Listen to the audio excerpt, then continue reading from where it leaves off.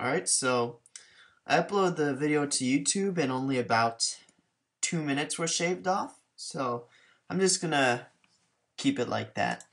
Cause I'm I, don't, I honestly don't know what's wrong with it might be just this computer in general because this I've had this problem before, but it seems like way more prevalent with this series. I just have to make sure it's on. But yeah, so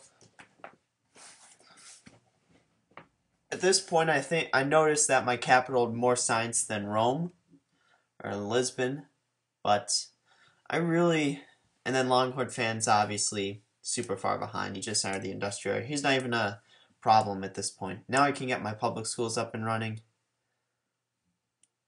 I don't even know what I'm looking. Oh, I'm looking at the turns because I'll work on public school for two turns. I'll get Oxford, then continue. That's usually what happens. Because I get public schools at basically almost every single game.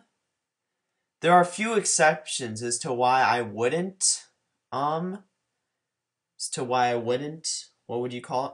I wouldn't Oxford radio. There if if there are games where I get no fresh water near my capital.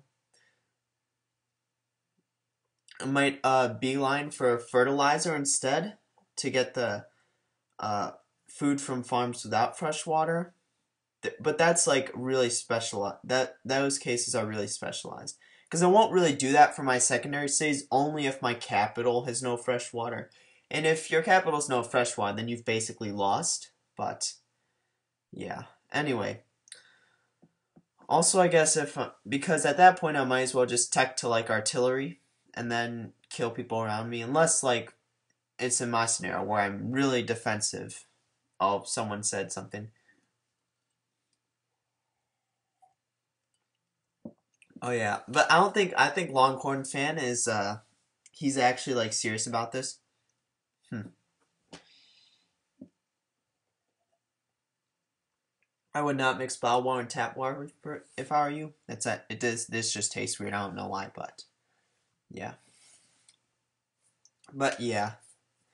So, but I actually, I think at this point, I'm not sure if I realized I had a shot or at least that I realized I was going to win, but I think I did have a shot because war in this game, you it sort of has to be done quick. Like you have to steam, you have to complete. It's sort of like the the probably the best example like in real life is like the blitzkrieg. It sort of has to just be done quick and with minimal casualties. So you just sort of have to like steamroll your opponent basically.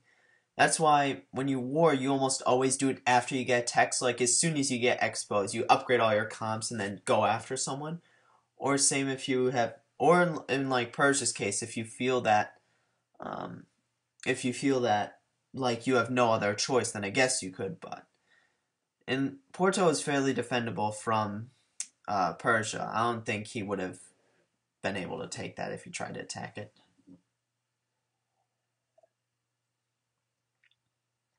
And they do actually get behind from a war of attrition because for whatever reason, Rome doesn't stop with. Uh, also, our cap his capital lost a pop. I don't know why. Mine's because now ours are at the same size, but um, yeah, he. I think he fights India after this or Venice. No, I think he fights India and then he fights Venice. I think that's what goes down. Or maybe Indonesia fights India, but I know everyone basically everyone in this game. This is one of those rare games where every single person has been in a war. Granted mine was probably done most efficiently. The guy threw everything he had at me left the game and then i just took his capital but so technically i was the closest to domination victory. So i was closest to two victories domination science. But after this my only real threat was venice after like everyone else left. Oh yeah looking at venice is at 18 but that's that's normal and then I'm obviously last in culture for now, but yeah. He is plus 25 with Indonesia. That's probably for trade route. He's already familiar with me. That's shows how low my culture has been developed. But I'm building the guilds. Early game culture mostly comes from like wonders and crap or whatever. Late game culture comes more from the guilds you've built, the archaeological digs you've done, all the culture buildings you've built, the your ideology stuff, so it sort of like really snowballs later on, but early game cultures, it's almost all like, it's almost all like wonders and stuff. You get massive amounts of culture from wonders, especially if you wonder spam. Wonder spam means never. All right, now I switch to Oxford. So I finished it at the same time as electricity. You can finish it, and also this has fucked me over many times. You have to check the amount of turns it takes for your city to grow, because if you set it to, like, if it's three turns left and your city grows in two turns, your city might grow in two turns to a production town, finish the Oxford one turn early. That's happened to me at least twice, but I've I've learned to like check now. So let's see. Yeah, Venice just got the Sistine Chapel, so this is. I suppose I could have gone for the Great Firewall. That was a bit far from where I was near the end of the game, and even so, that doesn't entirely stop a tourism victory. And at that point, I wasn't really worried about that. I was worried about diplomacy because I. I guess in Civ 6, the religious victory is equivalent to the diplomacy victory, where it can really sneak up on you. Also, that's the second time Westphal was killed. I'm not sure if that's unlucky or not, but it probably is. But still, just I don't know. It's like because diplomacy victory is is if you're using internal trade like you should, it's going to be really hard to counter. So I guess in a way you sort of need like I have you have to rely on other people not to let it happen until you can just flat out kill the person who's going for diplomacy. Oh yeah. So this is where he wars Venice, and I assume he was going to attack Venice by sea, but I'm not actually sure what he's done. Because I don't know what the rest of the landmass is like. And also Venice is largest in military, but there, yeah, that's just, it's because the AI has so many units. It's not because they know, like, how to war. Or they have good units. Like, see, he still has, like, warriors, crossbowmen, and pikes, which are kind of old now. Rome immediately went up two sizes since I last checked, but I could be growing a lot faster, but I haven't done my, I'm not, like normally, I normally do my tile assignments, it's just that this game, I guess I'm, I don't know, for whatever reason I didn't do it. I guess because I knew this game was going to be like an example I'd use for this, so I guess you have to purposely make some flaws. Or I just didn't care, but, see. So Braga's building walls. I think Lisbon is walls, Braga is walls, but Porto doesn't. I'm not really about worried about Porto. It'd be really hard to take. Yeah, sort of because they would have to sort of attack from below. They couldn't attack from the west, and then they would just get pincered from Braga and Lisbon. So now, yeah, everything is taking a while. Now I get a workboat for that fish tile because everything else is super expensive or takes a long time to build. It's not worth spending 15 turns on one thing. Especially when texts take like 7 or 8 to research. I don't even know what I'm looking at. Also, the Artist Guild. I'm not sure I noticed this, but I usually wait to build the Artist Guild until I get like archaeology so I could fill my museums with the great works of art. You still have uh, your palace holds a great work of art, but I guess if you're like going tourism and you're like Brazil, you might want to build it light because then you'll get all your uh, great scientists for uh, carnivals. But yeah, and then I'm looking at the text it'll take to construct Feitorias. And I eventually do send out a worker to Cape Town. There are a few other uh, city states near there, but that I can't, I couldn't find any other city states. I don't know why, but yeah.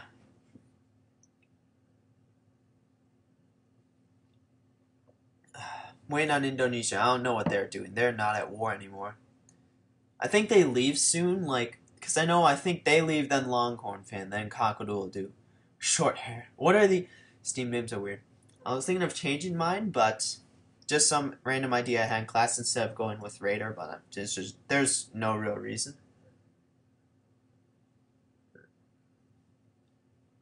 Enrico Dandolo is also a bit behind. He just entered Industrial. Now I got Oxford Radio, I'm the first in the modern. Get my spy. Next turn, I'll get freedom.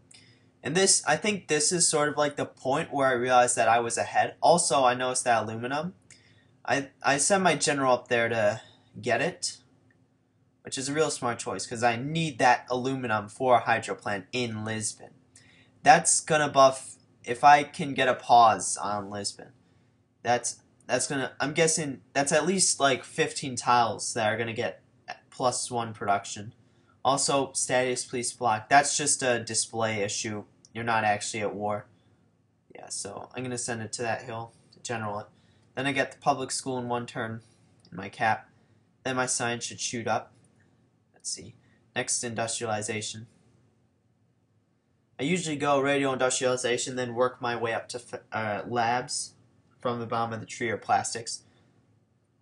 I actually think in this scenario I go industrialization, then uh, compass, um, astronomy, and navigation. I actually think. But I'll have to see. And then I also upgrade all my old units before I get industrialization. Mainly because I just I hate Gatling guns. Or at least I just I still prefer crossbowmen over Gatling guns. So I'm gonna move all my guys back. Do I move this spearman back? I don't even know. Scout obviously can't do anything. Oh yeah, I can upgrade to a knight. So I'm gonna want that. I can just upgrade. I don't know why I didn't move to Persepolis, but I'm upgrading all my stuff now. I don't know why I didn't move that combo back, but it's not important. Do I upgrade that spear? I don't know. Probably not. That'd be a waste of money. It's just, it's there for barbs, but the others actually might have some use. So. So now I'm going to fiddle around with my ideology.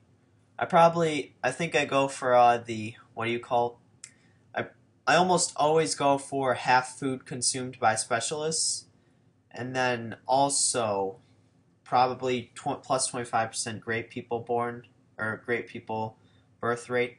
It's almost always standard for me, unless I'm unhappy, but still the, the 25% uh, or 50% reduced consumption, or 50% food from specialists. That is, or 50% food consumed by specialists. That's one of my favorite tenets. It's very strong. It basically allows you to work specialists with minimal like downside or minimal like like you won't starve your cities working them. Yeah, and I'm obviously first, so I'll get my two. Yeah, I get civil society specialists. Specialists consume half food. One of the strongest um, one of the strongest, what do you call it? Strongest tenants in my opinion. Let's see. That he's going to grow soon. Yeah, look at it. just, it reduced my times across the board for cities. City growth. Also, when combined with uh, the Statue of Liberty, that's half food plus one production. And eventually, if you get the uh, freedom tenant, half happy or half unhappiness. It makes it essentially it makes specialists extremely powerful. That's mainly why you go freedom to like ben- reap the most benefit off of your specialists. Like you can have a wide empire and you can still go freedom. Like it's not as efficient as going order, but there's still like a ton of benefit. I know it's different with like mods if you have like the NQ mod, all of the stuff has changed. But in at least in like the uh just the base game, Freedom is probably one of the most, if the first, if not the second most powerful. Oh yeah, just a bit of lag. Gotta, Coast is dropping off. I don't think he actually ever drops. That's one of the reasons why I also wanted to record this game, because rarely in a game of multiplayer Civ does like, I don't think there was a single like uh, reconnect or, yeah, you think I get a castle or maybe a public school. I have to yeah, I think I just get a castle. Straight up castle. Yeah, I do. That city, I, I, looking at it, looking at the map, I don't think that city, anyone had a city on the, because apparently later in the game we find out there are two inland seas, or we probably already figured that out, but I don't think anyone's on the inside of the second inland sea, so gotta upgrade that before industrialization. Let's see. Was just using those just in case India gets any funny ideas. Let's see. Now I gotta move these guys back. Don't want random barbarians spawning. It's terrible. Hate when that happens. But yeah. Braga. Do I actually change production? No, I don't think I do. If I do, I change it to like an amphitheater or something, but I don't think I need that at this point. Think I have amphitheaters in my other cities. I don't know, but Braga is one of my most exposed cities, so. Or do I change it to an amphitheater? No, I don't think I change it to a trireme. I think I just leave it at that. Yeah. I don't know why I'm being so indecisive. That's one of my main problems with Civ is I'm really indecisive about everything. So even when my turn's ended, I'm just like double checking everything. There's like yeah. And then obviously nothing so far has happened to Venice. Like nothing has changed. Guess I don't know what Rome was thinking. Oh, and he also got a Uffizi. That's an art culture wonder. Because the AI basically just rushes like culture wonders or any wonders at all. AR wonder spams fairly hard. I think I get a zoo in that city. Eight turns for a stock exchange. Also, I, I'm checking to see what I can buy with faith. But, oh yeah, now I can get public school. Do I go for a stock exchange? Because I get industrialization in one turn. I probably go for a zoo. That's what I'm going to guess. Oh, no, I don't. It's a bit of a bold move. But, did I just gets, no, electricity. That's where you get stock exchange. It's also, yeah, I'm still getting my great works. Culture is still important in this game. We don't want to neglect it. See, I'm gonna uh, gonna citadel that uh, aluminum next turn, so I can work on it. I don't really want to buy a tile, but yeah. So there's uh there's that fish tile I've wanted. My uh, it it actually takes long, takes longer to build the castle or the castle now, but do I go for amphitheater? For whatever reason, I don't go for an amphitheater in that city, but I guess it's because I don't really need a castle. And that's it. And Persepolis is fairly, it's tucked away. No one's going to take it. Yeah. For whatever reason, I don't go for a zoo. I don't know why, but I guess stock exchanges. I'm sort of lacking on gold now, so let's see. Uh, and I also just found out about my new spy. I'm looking at the demographics. Rome's still one. Do I actually spy on? No, I think I spy on Indonesia's capital because I don't want to spy on Rome's like crappy settle Neapolis. In Indonesia, I'm still interested in what they're doing because they're still more relevant than Longhorn fan. Oh yeah, so I bumped up in crop yield a ton. Now I'm second in pop as well. So things are going fairly well because population is your science is directly related to your population.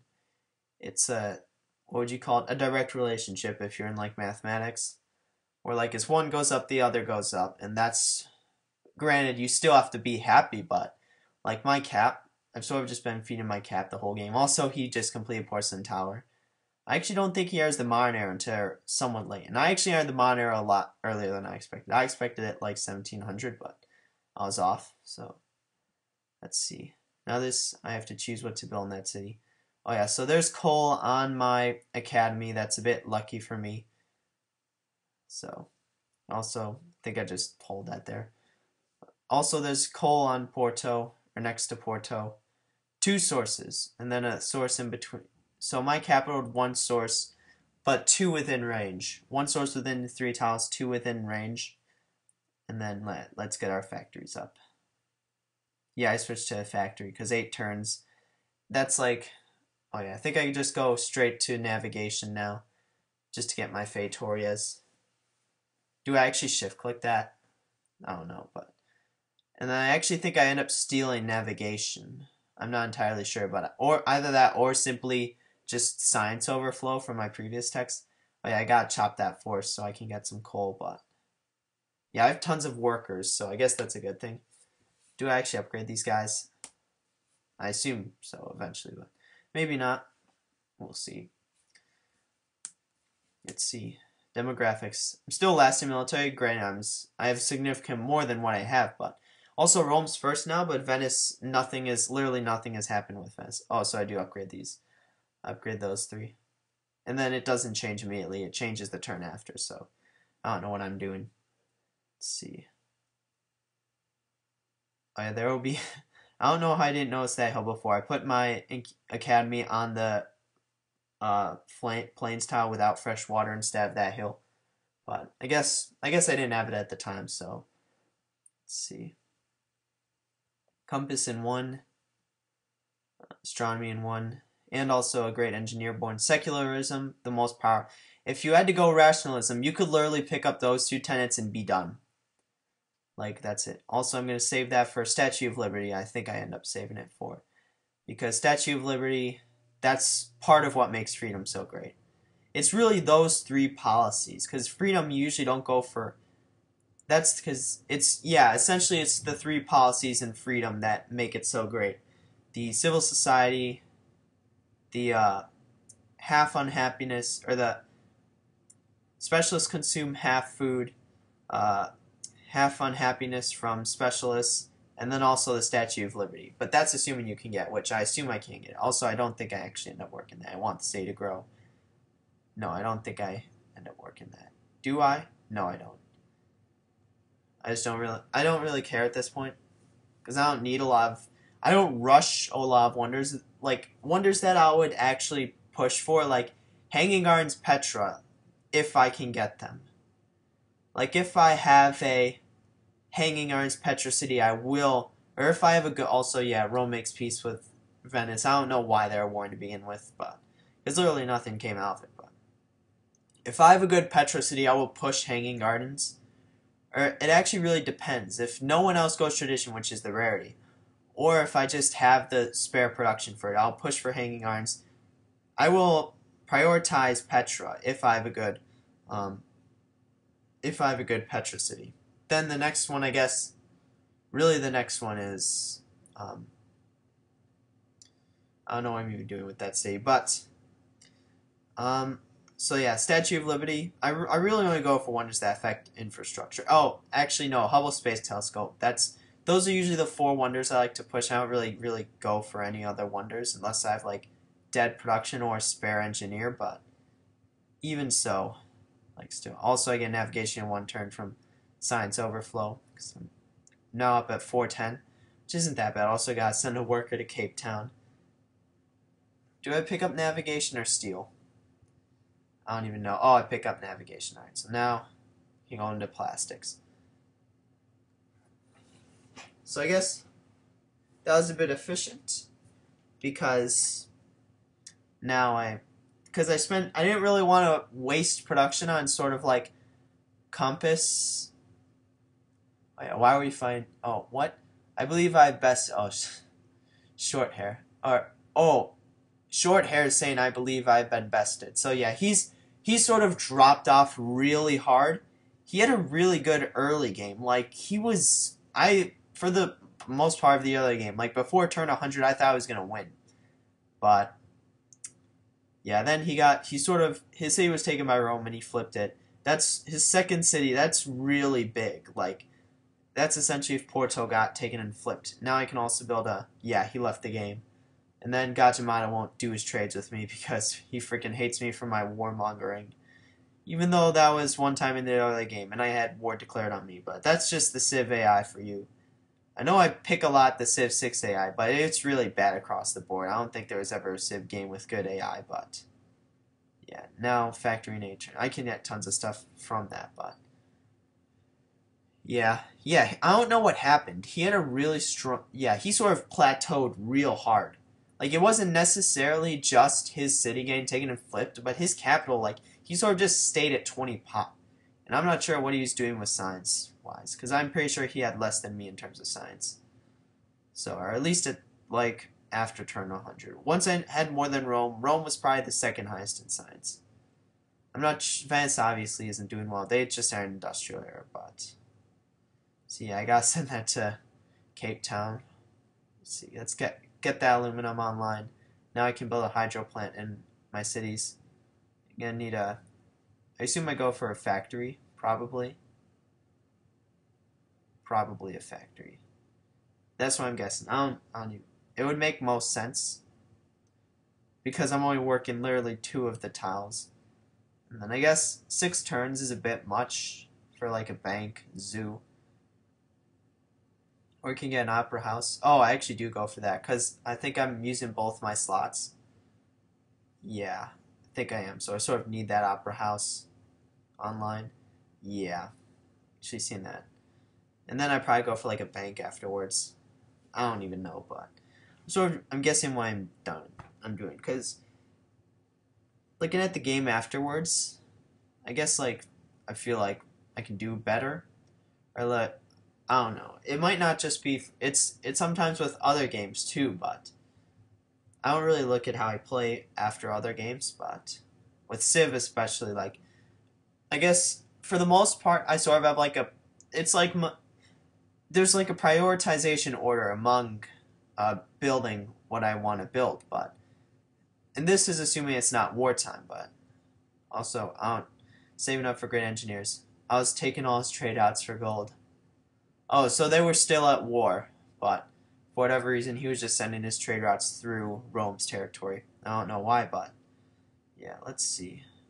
Eyebrows in 5. I think I just start chopping everything. Or no, I can get a lumber mill on that, actually. And then we need to cut that. Get a farm there. Let's see. One turn for a factory and size 29. Not bad. Ideally, you want your capital be sort of like size 30 at least. By. Also, I'm sending my food to Persepolis now because Braga is doing well on food. Like, let's take a look at Braga. Uh, yeah, six turns till a new, um, six turns till a new uh, citizen. So Persepolis wasn't doing too well on food. So let's see. Knights don't upgrade the lancers. I don't know why I'm looking at them, but pikes do. So I'll have to upgrade that next. Let's see.